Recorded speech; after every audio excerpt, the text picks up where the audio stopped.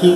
وہ صرف یہ ہے کہ جیسے انہوں نے بڑے بڑے نامی گرامی ڈاکو جنہوں نے سینکڑوں ڈکیتیاں کی اور شاید سینکڑوں مرڈرز کیے کیا نام تھا اس کا؟ نظر ناریجو ٹائپ ایک اپنی کیٹیگری ہوتی ہے ایک اپنی کلاس ہوتی ہے۔ تو یہ ایک قتل کے مجرم ہیں پی اوز ہیں۔ اور اس کیٹیگری میں ڈیفالٹ والی کیٹیگری میں تو یہ نیچرلی نہیں آتے قاتلوں کی کیٹیگری میں آتے ہیں۔ اور ان کی کیٹیگری جو بھی ہے they are wanted by the law they are wanted by the police and we get we get them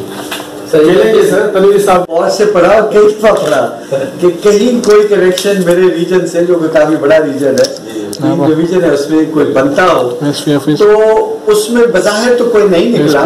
لیکن میں نے اس کو تھوڑا سا سٹریچ کر کے احتیاطن تو جو علاقے ہمارے قریب بنتے ہیں کراچی کے ان کو میں نے ضرور الرٹ کر دیا۔ جیسے آپ کے لب میں ٹھٹا ہے جام شورو ہے بیکاز بعض کا یہ ہوتا ہے کہ کوئی مین ٹارگیٹ اچیو جب نہیں کر سکتا بہت ٹارگیٹ ہارڈنگ ہوئی ہوتی ہے تو پھر وہ بھاگتا بھاگتا کہیں دائر میں سٹرائک کر دیتا ہے۔ تو اس حوالے سے ہم الرٹ ضرور ہیں اور ہم بلیو کرتے ہیں پری ایکشن پہ کہ کسی چیز کو کوشش کرتے ہیں ہونے سے پہلے ہی روک دیا جائے۔ تو ہم ایڈوانس جو انٹیلیجنس ہے وہ کلیکٹ کرنے کی کوشش کرتے ہیں اور چیزوں کو خاص طور پہ ٹیررزم سے ریلیٹڈ جو ہے وہ ہم پریمپٹ کرتے ہیں اس کے لیے میں نے ایک اسپیشل سیل بھی بنایا ہوا ہے۔ تو وہ اس کا کام ہی صرف ان چیزوں پہ کام کرنا ہے۔